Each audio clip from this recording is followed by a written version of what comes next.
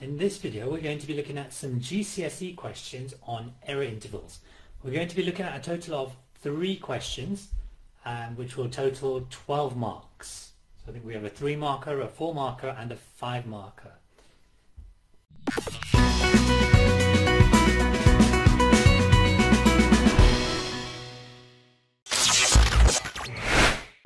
The first question is a form mark question which is going to involve adding and multiplying error intervals. So let's have a quick read. So a rectangle has a length of 21 to the nearest centimetre. Alright, so the length is 21. So that's to the nearest centimetre, then the upper and lower bound is what we need to work out. So the way that we do this is we'll write 21 we write the value above it if we're measuring to the nearest centimetre, which is 22. The value below it is 20. So halfway between 20 and 21 is 20.5. Put less than or equal to there. Halfway between 21 and 22 is 21.5. Put less than there. So that's your upper that's your lower bound for the length, that's your upper bound for the length. Now for the width. Leave a bit more space. So our width is 5.3. Now this is measured to the nearest millimeter. So 5.3 centimeters to the nearest millimeter. So we're going to do exactly the same thing. So the value above 5.3 centimeters to the nearest millimeter would be 5.4. And the value below would be 5.2. Less than or equal to, sorry, so now we find halfway between 5.2 and 5.3, which is 5.25, and halfway between these two, 5.35. So now we have our lower bound for width and our upper bound for width. So now we can answer the question. So work out the upper bound for the perimeter. So the perimeter of a rectangle consists of two lots of the length plus two lots of the width. Okay, so the perimeter is equal to two lots of the length plus two lots of the width. Now if we want the upper bound for the perimeter, so I'm just going to put perimeter upper bound, that's going to be, now we need to decide do we use the upper bound for length or the lower bound for length. Now if we are adding and multiplying here, we're going to be using the upper bound because we want, it, we want the perimeter to be the maximum possible. So we're going to use the upper bound, so I'm just going to put length upper bound, we're going to multiply that by 2, plus the width and the upper bound of that, I'm going to multiply that by 2. So what is the upper bound for the length? That's 21.5. We're going to multiply that by 2. And then the width, the upper bound for that is 5.35. We're going to times that by 2. So if we work these out, 21.5 times 2 is 43 centimeters. And 5.35 times by 2 is 10.7 centimeters. So when we add them together, our perimeter is 53.7 centimeters. So that's question 1A. Question 1b is to find the lower bound for the area. So we're looking at the area, but we want the lower bound. So I'm just going to put a little L there. So the area is length times width. Now if I want the, um, what am I after? I'm after the lower bound. So if I want the lower bound for the area, I want to multiply two values of the length. Now, which two values of length, so which value of length and which value of width would multiply together to give the smallest possible answer? Is it 20.5 times 5.25? Is it 20.5 times 5.35? Is it 21.5 times 5.25 or 21.5 times 5.35? And hopefully you realize that to get the smallest possible answer, I'm going to have to use the two lower bounds. So I'm going to do the 20.5 times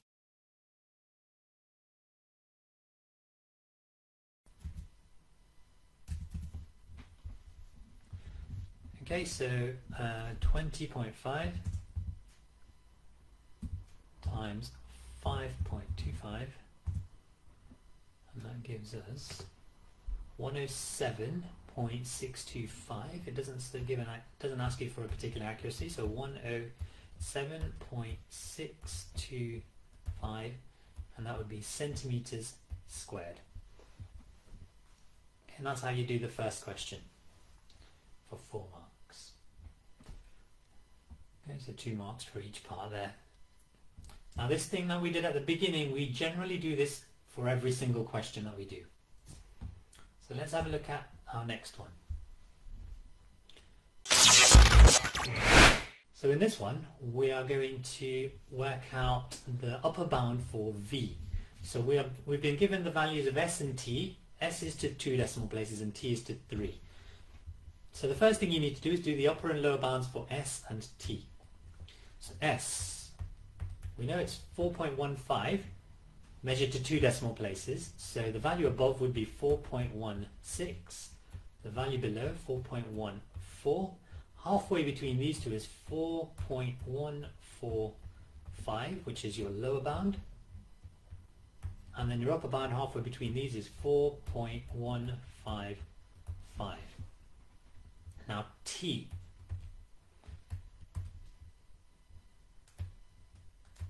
Leave a bit of space. So T is 2.516. So this is measured to three decimal places. So the value above this is 2.517. The value below this is 2.515. Halfway between these two is 2.515.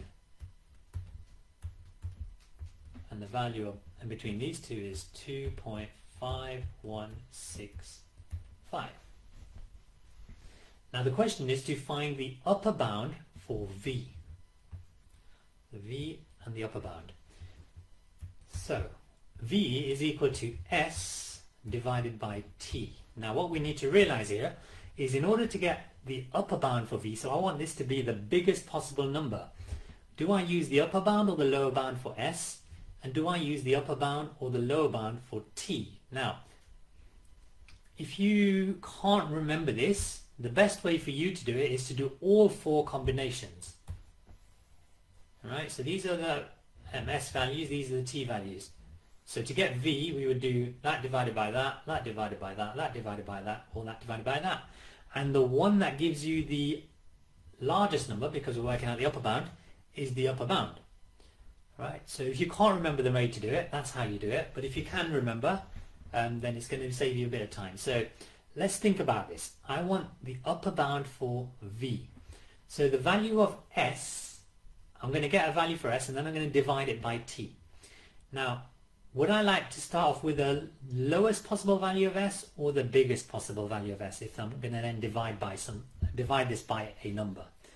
All right, and you hopefully you're thinking, i would like to start with the um, higher value because when, um, if I'm going to divide it by something, I'd like to start off with a higher value so when I divide by something it will still give me a big answer. So I'm going to look for the upper bound for S. Now I'm going to do that number and then I'm going to divide it by T. Now should I divide it by the upper bound or the lower bound? Now remember I want the answer to this to be as big as possible because I want the upper bound.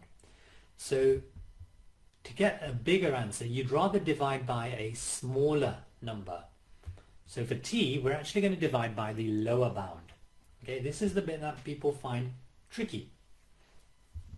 Alright, so the upper bound of s is 4.155.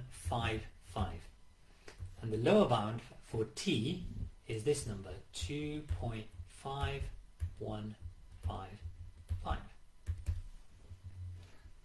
Alright, so we're just going to get our calculator up and type this in.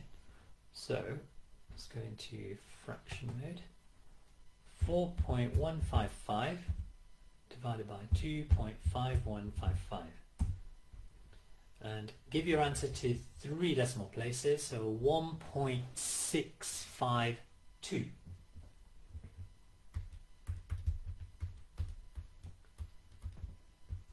right to three decimal places. Now if you're not going to remember that, what I suggest you do is you do all four combinations. So this number divided by this, this number divided by this, this number divided by this, this number divided by this.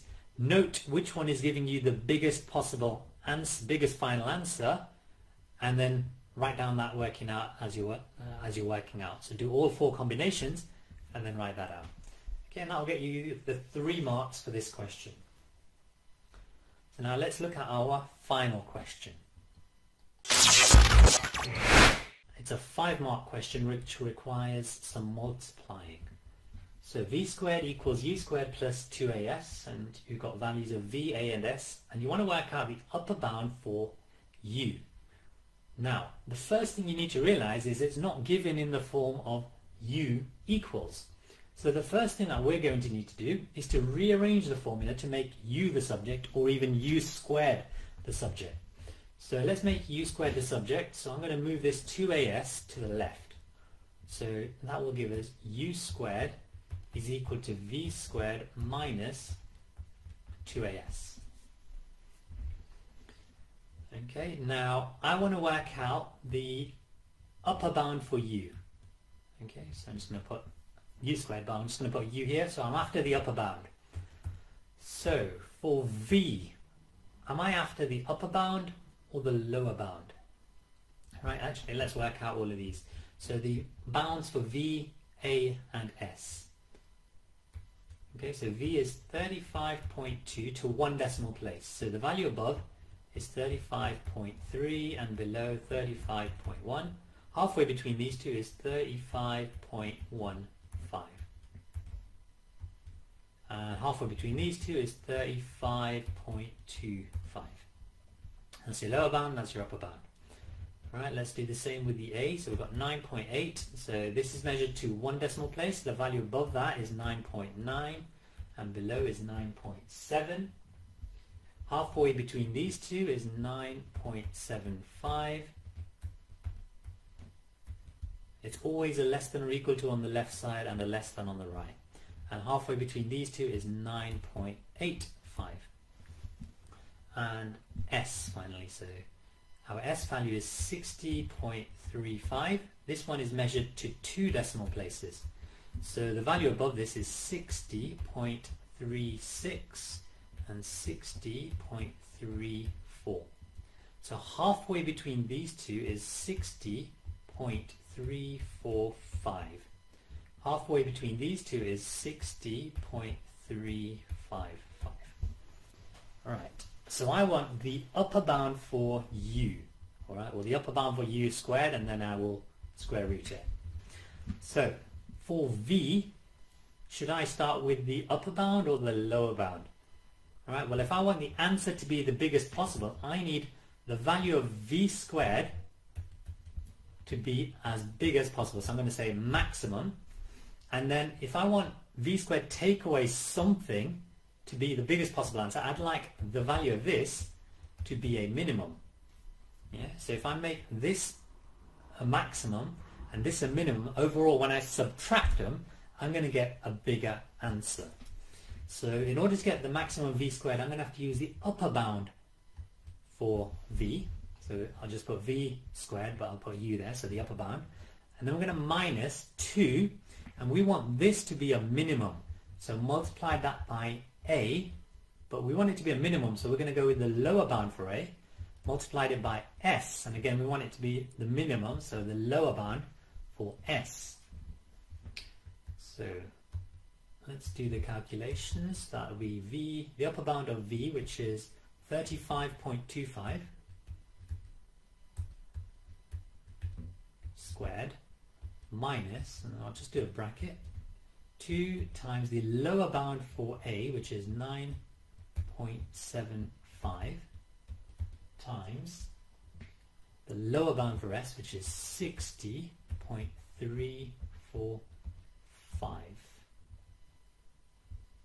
Okay, so we're going to type this into our calculator.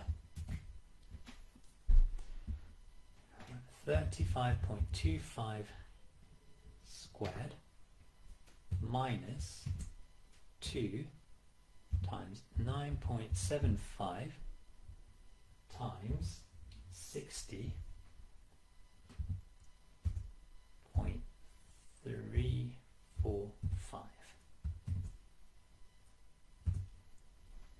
Okay, that's the upper bound for u squared. So that was 65.835.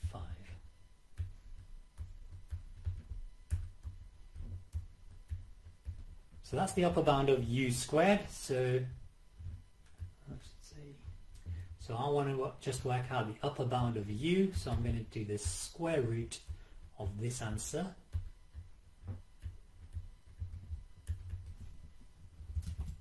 So square root answer, which is 8.113877, and we want it to three significant figures so that would be 8.11. The number after that is not 5 or more, so 8.11 will be the answer. Again, that'll be a 5 mark question there.